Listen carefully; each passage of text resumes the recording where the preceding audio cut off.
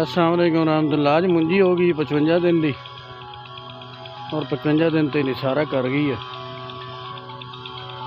ਤੇ ਇੱਥੇ ਆ ਕੇ ਜੀ ਇਹਨੂੰ ਅੱਜ ਅਸੀਂ 16 ਬਾਈ 23 ਨਾਲ ਫੰਜੀ ਸਾਈਡ ਟਾਪ ਗਾਰਡ ਸੀਡੋ ਤੇ ਨਾਲ ਜਿਹੜਾ ਨਾ ਅਲਟਰਾਸੋਲ 10 10 40 ਠੀਕ ਹੈ ਅਸੀਂ ਸਪਰੇਅ ਕਰਵਾ ਰਹੇ ਹਾਂ। ਤੇ ਟੋਕੇ ਦਾ ਪਲਾਂਟ ਹਾਈਪਰ ਦਾ ਬਹੁਤ ਜ਼ਿਆਦਾ ਅਟੈਕ ਹੈ ਹਰ ਜ਼ਿਮੀਦਾਰ ਨੂੰ ਆਪਣੀ ਫਸਲ ਚੈੱਕ ਕਰਨੀ ਚਾਹੀਦੀ ਹੈ ਪਲਾਂਟ ਹਾਈਪਰ ਦਾ ਅਟੈਕ ਸਭ ਤੋਂ ਜ਼ਿਆਦਾ। ਹੈ। ਤੇ ਇਹ ਮੁੰਜੀ ਜਿਹੜੀ ਹੈ ਨਾ, ਇਹਦੇ ਤੇ ਸਾਰੀ ਸਵਾਦ ਦੀ ਪ੍ਰੋਡਕਟ ਇਸਤੇਮਾਲ ਹੋਈ ਹੈ ਠੀਕ ਹੈ ਤੇ ਇਨਸ਼ਾਅੱਲਾ ਇਹਦਾ ਫਾਈਨਲ ਰਿਜ਼ਲਟ ਵੀ ਤੁਹਾਡੇ ਨਾਲ ਸ਼ੇਅਰ ਕਰਾਂਗੇ। ਕੀ ਆਉਂਦਾ ਹੈ ਅੱਛਾ ਜਿਹੜੀ ਸਵਾਦ ਦੀ ਫੰਜੀ ਸਾਈਡ ਹੈ ਨਾ ਟਾਪ ਗਾਰਡ ਠੀਕ ਹੈ ਬਹੁਤ ਅੱਛੀ ਫੰਜੀ ਸਾਈਡ ਹੈ ਤੇ ਇਹਦੇ ਅੰਦਰ ਸਭ ਤੋਂ ਜ਼ਿਆਦਾ ਇਹ ਹੈ ਕਿ ਪੱਤਿਆਂ ਦੇ ਅੰਦਰ ਨਾ ਇਹਦਾ ਜ਼ਹਿਰ ਜਿਹੜਾ ਉਹ ਸਰਾਇਤ ਪਜ਼ੀਰ ਹੁੰਦਾ ਹੈ ਪੱਤਿਆਂ ਦੇ ਅੰਦਰ ਜਿਹੜਾ ਨਾ ਉਹ ਦੇਰ ਪਾ ਅਸਰ ਰੱਖਦਾ ਸਵਾਦ ਦੀ ਜਿਤਨੀਆਂ ਵੀ ਪ੍ਰੋਡਕਟ ਨੇ ਇਹਨਾਂ ਦਾ ਕੀ ਹੈ ਕਿ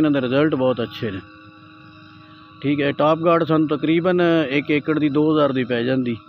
ਅਗਰ ਇਹਦੇ ਮੁਕਾਬਲੇ ਸਕੋਰ ਵਗੈਰਾ ਕਰੀਏ ਤਾਂ ਉਹਦੀ ਕੀਮਤ ਇਹਦੇ ਤੋਂ ਅੱਧੀ ਆ। ਲੇਕਿਨ ਅਸੀਂ ਇਹਦਾ ਰਿਸਕ ਨਹੀਂ ਲੈਂਦੇ।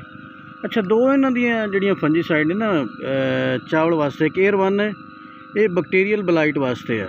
ਇਹਨੂੰ ਕੋਸ਼ਿਸ਼ ਕਰਨੀ ਚਾਹੀਦੀ ਨਿਸਨ ਤੋਂ ਪਹਿਲੇ ਕਰੋ। ਜਾਂ ਅਗਰ ਬੈਕਟੀਰੀਅਲ ਬਲਾਈਟ ਦਾ ਅਟੈਕ ਹੋਵੇ, ਤੈਨੂੰ ਫਿਰ ਕਰਨਾ ਚਾਹੀਦਾ ਇਹਦੇ ਅੰਦਰ ਕਾਪਰ ਹਾਈਡਰੋਕਸਾਈਡ ਹੈ ਕਾਪਰ ਆਕਸੀਕਲੋਰਾਈਡ ਹੈ। ਅੱਛਾ, ਜਿਹੜਾ ਕਾਪਰ ਹੈ, ਇਹ ਜਿਹੜਾ ਹੈ ਨਾ ਫੰਜੀਸਾਈਡ ਦੇ ਨਾਲ ਨਾਲ ਇਹ ਇੱਕ ਟਾਨਕ ਦੇ ਤੌਰ ਤੇ ਵੀ ਕੰਮ ਕਰਦਾ ਔਰ ਕੋਸ਼ਿਸ਼ ਕਰਨੀ ਚਾਹੀਦੀ ਹੈ, ਇਹਨੂੰ ਸਪਰੇਅ ਲਾਜ਼ਮੀ ਕਰ ਲੈਣੀ ਚਾਹੀਦੀ ਇਹਦੇ ਨਾਲ ਮੁੰਜੀ ਦੀ ਐਵਰੇਜ ਬਹੁਤ ਅੱਛੀ ਹੋ ਜਾਂਦੀ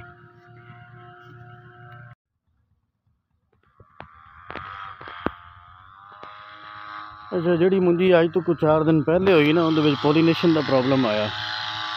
ਉਹਦੇ ਦਾਣੇ ਕਾਫੀ ਖਾਲੀ ਰਹੇ ਐਵਰੇਜ ਫਿਰ ਵੀ ਅੱਛੀ ਆਈ ਹੈ। ਕੱਲ ਕਟਾਈ ਹੋਈ ਸਾਡੇ ਕੋਲ 63 ਮਣ ਦੀ ਐਵਰੇਜ ਆਈ।